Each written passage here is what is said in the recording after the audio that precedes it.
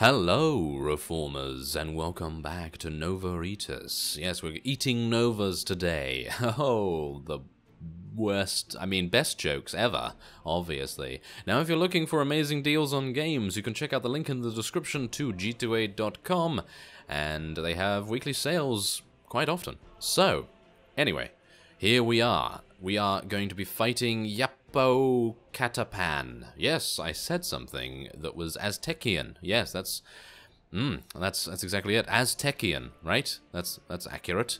Anyway, uh, yes, uh, yes, I can I can see it now. Anyway, we're going to be attacking him. This is the fellow that was helping out the other guy beforehand, and this is great because now he only has 22. Oh yes, he only has 22. Now, I do have a couple of camel archers. Only a few, not too many, and I did make a brief stopover in Rodok territory because one of you let me know about an amazing weapon that I am now using, which is a rapier. It's absolutely, absolutely, absolutely, yes, absolutely, yes, it is absolutely amazing. It's actually really good, and it's one-handed, and it only has a strength requirement of 8 and it has 48 piercing damage and I think 42 cutting damage, so it is going to be insanely good against the Aztecs, I hope. So yeah, let's just let's just see here. I don't have any horse archery, so what I'm going to do is I'm actually going to get off my my I was going to say mouse, but then it was just like yes, mount and horse together. Yes, that's mouse. So I'm going to get off my mouse real quick and I'm going to shoot this guy in the face, hopefully. Am I? I'm, I am shooting a couple of them, but some of them have shields, so it's kind of a bit of a shame, but yeah, it doesn't really matter too much, does it? Okay, so yeah, there we go. I'm going to try and improve our archery skill a little bit here as well. It's always good to get some higher archery proficiency. And whoa, okay, we have some Sarranid archers as well, and we have some, well, I think we have some javelin, javelineers, or whatever they are called, but uh, apparently our Sarranid archers are just absolutely beasting on the enemies right here, and it's actually kind of surprising because I thought to myself, okay, we need to get mostly infantry, but then I forgot to get archers, and archers, as we all know from previous series, are very important indeed, because if you don't have archers, then you have no reach whatsoever, and you're just going to end up dying very easily, but as you can see, we're weakening them significantly. I don't even need to actually do this, but I, I thought I would just test out the Sarranid archers and see how well they actually, well, do, because it would be kind of nice to see their, their performance. I'm going to try and stab someone in the back. Yep, no, ah, I was trying to, but it didn't really work.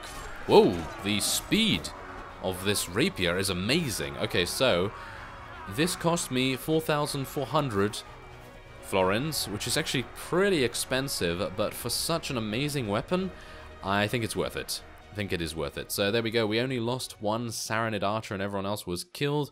I am uh, yeah, okay, I'm actually gonna take this guy prisoner, but that is going to make the Aztecs probably pretty mad, so they're probably gonna go after us pretty harshly. Maybe. We're gonna see, anyway.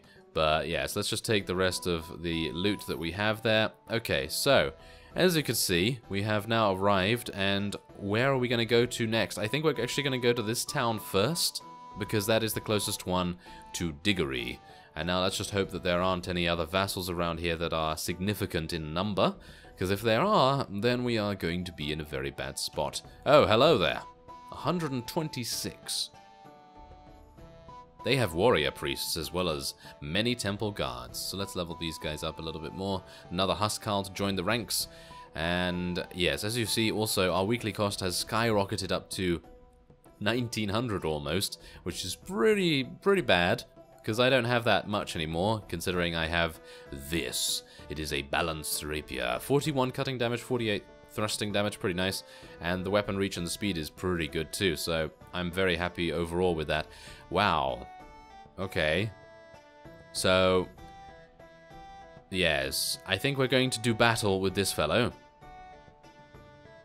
Oh, there's two of them. Of course there is.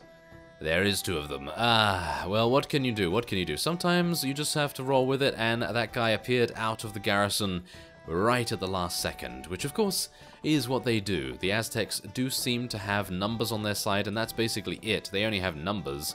They don't seem to have very good units. They do have good units in the form of the temple guards, of course, and the warrior priests are probably going to be extremely deadly, but I haven't really fought many of those just yet. So let's see what we can do here. I'm going to try and shoot a couple of them. Maybe we can, their shields, maybe do a little bit of fleeting damage. It's not going to be anything that's going to actually make any difference in whether we win or lose, but... Yeah, you never know. It's, it might be one of those times, and, and indeed one of those episodes where we face the Aztecs, and they just swamp us with numbers, and then they're able to just completely overwhelm us, and we we lose the fight. But we are actually weakening them. We are actually weakening them. So this could be like a war of attrition type thing, and, you know, that's perfectly fine. I don't mind doing that, because usually in the end, we prevail because obviously we do have a rather large garrison of people waiting for us at Diggory, and we actually eliminated the leader himself. The leader was just standing out here by himself, doing not much, which was actually kind of amusing to see. And maybe I should have stayed on my horse. Might have been a good idea to stay on my horse, actually, but I don't really want to charge in. I just want to let my archers bombard them as much as we can. Obviously, we do have some mounted archers as well in the form of the camel archers, but yeah, I'm not particularly happy about their performance so far. They don't seem to really be killing too much, and I'm not entirely sure. Where are our other archers?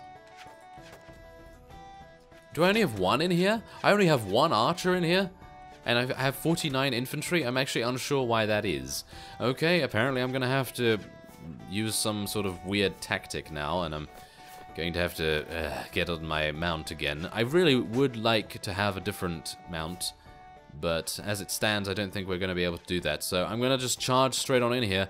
I'm going to see what I can do about disrupting the archers yet again. Shields up, because if we if we don't, I'm going to die very, very quickly. So these guys are just going to get a bit distracted by me, and hopefully that will result in us having the upper hand, I suppose. Oh no, to lose my mount very, very quickly indeed, because these guys have javelins, and they're very accurate with them. So let's try and just distract the archers a little bit more. Come on, eliminate that guy, or at least try and do as much damage as possible to him. Oh, yes, Warrior Priest. Okay, so there we go. Now, I'm to have to help with the main sort of area here, the main force of enemies, because if I don't, I'm probably sure that we're to lose. Maybe. Okay, there we go. Yes, I'm using the speed. The speed of our sword to eliminate all of them. Yes. Okay, there we go. Let's fight. Let us fight amongst them. How dare you?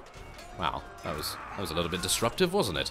Okay, well, we're fine, we're fine. There's a nice thrust. Ah, yes. I'm not used to this thrusting animation, I have to say. I do like the thrusting animation, that is for sure, but unfortunately the...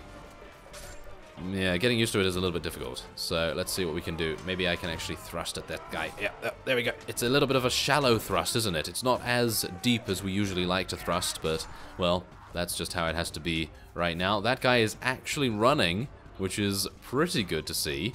And I'm kind of... Am I, am I worried? I'm not entirely sure. I think I am. I am quite worried. Yep, there we go. We are down. A Jaguar Warrior. Uh, okay, so that might be it yet again. Yes, we've lost already 50... Wait, wait. Actually, more than that. 60 or so units already, and there's only 10 of them remaining. But we did get outnumbered pretty heavily there, so I guess we're just going to be retreating once more. But as you can see, our morale we're gaining is just insane. But yeah, yet again, we, we lost another 10 of those guys. But the thing with this is that we're weakening their greatest armies where we need to be. So I'm pretty happy with that. I am actually pretty happy with that. As you can see, that guy only has 12 remaining. This guy only has 81. And we are severely outnumbered every single time. And we're gaining Huscarls which is exactly what we need to be gaining. You know, we need to be getting those Huscarls, because those Huscarls are going to be the main reason why we probably will win the siege in the end. So I'm going to be dismounting, well, dismounting? No, disembarking, thank you very much. And we're going to be heading back to our colony. Now, what I do need to do is get a couple more pieces of timber because I need to... Well, actually, I could get some more colonists. I think I'll go and get some more colonists. Let's land here, thank you. And yeah, as you can see, we have 55 out of 65, so I think it's probably a good idea to go and do that And as you see also our timber, oh, we actually do have some pretty good timber. We have 12 timber because it, when I went in here beforehand, before I actually made my way over to Aztec lands, oh, it's very dark, isn't it? It's very dark. Yeah, before I did that, we didn't have much timber, but now we do. So I'm going to be building a house and I think I'll probably just build it around here or something. I think that's I think that's fine. I think that's okay. There we go. So that's nice. So now we have 75. Now, one of you also told me very helpfully that once we get the population to 100, that is when the colony of Diggory will be attempting, or at least starting, to produce dye. Dyes, or whatever. So that's that's pretty nice that is pretty nice, because as far as I'm aware, dyes are pretty good to sell. I know tobacco apparently is the best. But I don't think I have one of those. Or do I? I'm not entirely sure. Oh yes, also one of you mentioned that it might be a good idea to buy more galleons to gain more unit size. Well, the, the main problem with that is that my renown does not allow me to get more than 80. So we have 80 capacity on the waves, and we're not able to get any more than that. So that's the main reason why I don't have more ships, which is kind of sad, I guess. So let's have a look here. Island of Beartild. Ah, okay, so this is Ivory, and this has a population of 20. Well, technically it has a capacity of 20 because I have built a couple of things because it actually has a bunch of tools and stone and timber, of course, because we are importing some materials here as well. So we're setting things up pretty nicely. Oh, my ship is not at the harbor, apparently. So we're going to have to go back here manually. There we go. Okay, so we're going to head back to Zendar. I'm going to try and get some colonists. Now, what's amusing about these colonists is that they're... well, I'll show you. I, I will actually show you, because they have some rather amusing dialogue, and you're going to see that in just a second. So let's land here and go into Zendar. Let's take a walk around the streets, and let's go to the suburbs. As you can see, this scene takes a lot of your computer. I don't believe we've actually seen the streets of a town just yet, but as you see, this is an absolutely amazing vista here. I don't even know. This must have taken a long, long time. But anyway, let's speak to one of the townsmen. Hello. I have a colony in the New World. Are you interested in populating it? A colony? That's quite interesting. Life's short and dangerous here. People say the New World offers new opportunities. So you are interested? Not only me, I know nine other people who are willing to sail over, but we cannot leave this place immediately. We have a life here. So then, this is the amusing part. Well, what if 250 florins fell into your pocket? Do you think it's easier then? Yeah, okay, so they have a life here, so I would assume that they have a house or uh, an abode or some kind of structure that they live in. So if we give them 250 florins, which I'm pretty sure is literally nothing in this day and age, then they're just magically going to say yes? Of course, thank you so much. We're ready to sail off, which is kind of amusing. I don't know. I think it's fine because we are obviously going to be building new houses for them and they don't have to pay any rent or anything like that as far as I'm aware, so I suppose that's okay. So let's set sail. As you see, they're going to be following us, and I'm apparently walking across water now because that's just that's just what I do. And yeah, so we have 10 colonists and that is going to be for Diggory. I'm going to have to do this a little bit more, of course. My party has nothing to eat. Ah, of course, of course.